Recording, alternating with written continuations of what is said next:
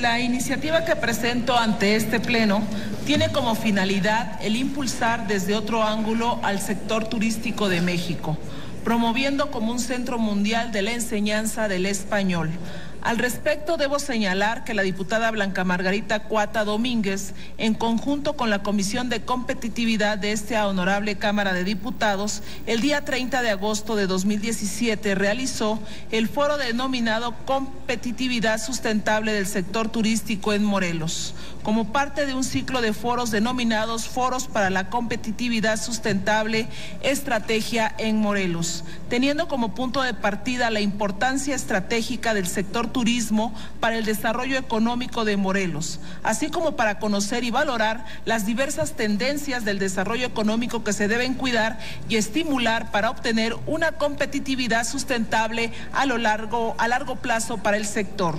Dentro de los múltiples asistentes a dicho foro se encontraban presentes integrantes de la Asociación Mexicana de Institutos de Español, AC, y la Asociación de Institutos para la Enseñanza del Español en Cuernavaca, AC, quienes puntualmente manifestaron que las escuelas de español en todo el país a partir del 2007 han ido disminuyendo y en consecuencia el turismo idiomático por diferentes factores como la crisis económica mundial, la contingencia sanitaria de la fiebre H1 1N1 y la advertencia de viaje de los Estados Unidos, Departamento de Estados de los Estados Unidos, la cual es el resultado de la situación de inseguridad que vive el país en varias regiones de México. Sin embargo, a pesar de la problemática actual, el entusiasmo y vocación por la enseñanza del español y de la cultura mexicana de las escuelas en México son la energía para continuar trabajando día a día y promoviendo a México como un centro mundial de la enseñanza del español.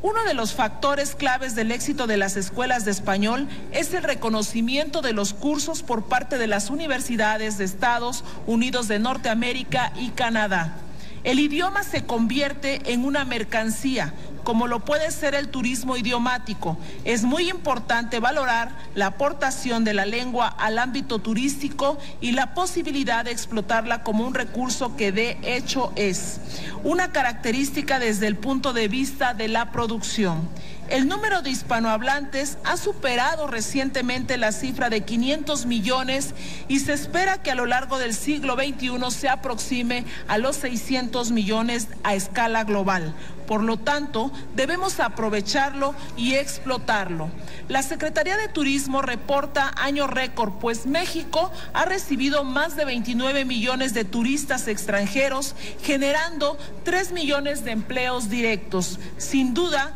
es una gran fuente de divisas para nuestro país con más de 16 mil millones de dólares. Sin embargo, hay un segmento olvidado con un gran potencial, que es el turismo idiomático, que se ocupa de recibir a estudiantes extranjeros para el aprendizaje de un idioma y su cultura en un país nativo. En este orden de ideas se considera turismo idiomático de larga estancia, ya que se genera una pernota de por lo menos 21 noches, aunque la mayoría son jóvenes, no hay límites de edad y viajan a todos los destinos de interés turístico de la región. El idioma español es definitivamente un recurso turístico, no es solamente un sello distintivo de nuestro país que refleja a una sociedad, su arte y su cultura. Es también una fuente de desarrollo económico que no se ha explotado suficientemente. México debe buscar explotar más el recurso del español como fuente de ingresos